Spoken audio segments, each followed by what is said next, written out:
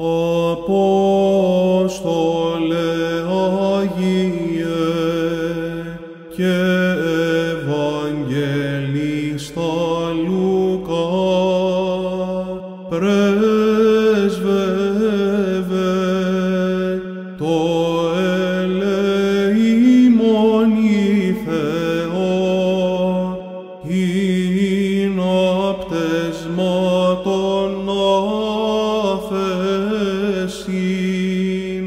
άφεσιν, παρασχήτες ψυχές ημών.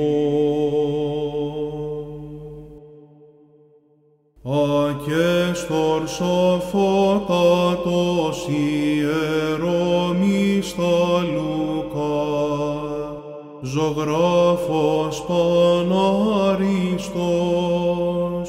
της Θεοτόκου Μητρός,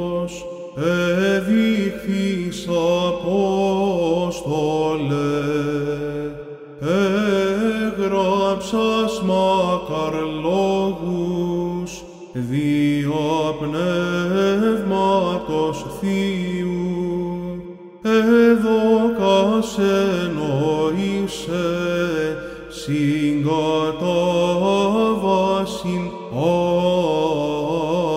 άκραν.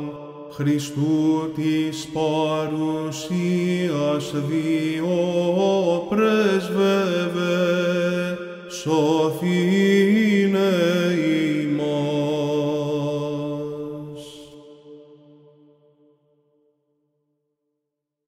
Τη 18η του μηνός Οκτωβρίου, Λουκά του Αποστόλου και Ευαγγελιστού, Ιουλιανού Οσίου Μαρίνου Μάρτυρος του Γέροντος, Μνάσονος Επισκόπου Ταμασού της Κύπρου, Σιμεών Θεοδόρου και Εφροσύνης των Οσίων του Μεγάλου Σπηλαίου, Γαβριήλ και Κυρμιδόλη των Νεομαρτύρων των εν Αιγύπτο, Κωνσταντίνου Επισκόπου Αχρίδος του Καβάσιλα.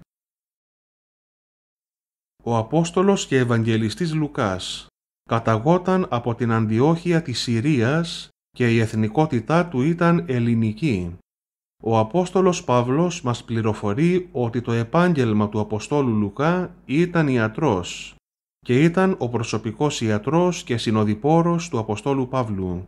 Επίσης γνώριζε να ζωγραφίζει και όπως είναι γνωστό, σε αυτόν αποδίδονται οι πρώτες εικόνες της Παναγίας, από τις οποίες μία υπάρχει σήμερα στην Μονή του Μεγάλου Σπηλαίου, όπως επίσης και η Παναγία η Προυσιώτισσα θεωρείται ότι είναι έργο του Αποστόλου Λουκά.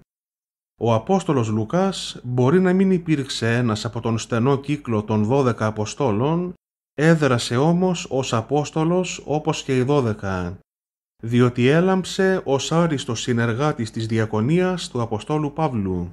Αυτό φαίνεται κατά την δεύτερη φυλάκιση του Αποστόλου Παύλου στην Ρώμη, όταν ο ίδιος γράφει στην δεύτερη προς Τιμόθεον επιστολή του «Λουκάς εστί μόνος μετεμού».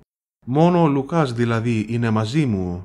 Τον προβάλλει σαν παράδειγμα τελείας αφοσίωσης στον αγώνα για την διάδοση του Ευαγγελίου. Επίσης ο Απόστολος Λουκάς συνέγραψε το τρίτο κατά σειράν Ευαγγέλιο, το κατά Λουκάν Ευαγγέλιο στην Καινή Διαθήκη, όπως επίσης και τις πράξεις των Αποστόλων, που αποτελούν υπηρεσία αναλόγιστα μεγάλης αξίας.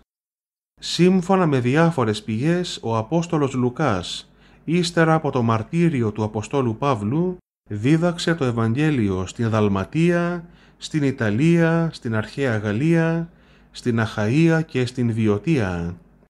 Σε ηλικία 84 ετών εκοιμήθη ή κατά άλλους μαρτύρησε. Ο τάφος του σήμερα βρίσκεται στην θύβα της Βιωτίας. Ένα θαυματουργό μύρο το οποίο ανέβλυζε από τον τάφο του θεράπευε πολλές ασθένειες. Το λείψανό του μεταφέρθηκε στο ναό των Αγίων Αποστόλων στην Κωνσταντινούπολη, τον οποίο ναό τον έχτισε ο Μέγας Κωνσταντίνος. Η Ιερά Παράδοση της Εκκλησίας μας αναφέρει ότι ο Απόστολος Λουκάς ζωγράφισε την εικόνα της Θεοτόκου μαζί με τον Χριστό, ενώ ακόμη εκείνη ζούσε και η Θεοτόκος είπε ότι η χάρη του Ιού της θα είναι σε αυτή. Ιστόρισε και άλλες εικόνες της Παναγίας όπως και των Αγίων Αποστόλων και τιμάται ως ο προστάτης των Αγιογράφων.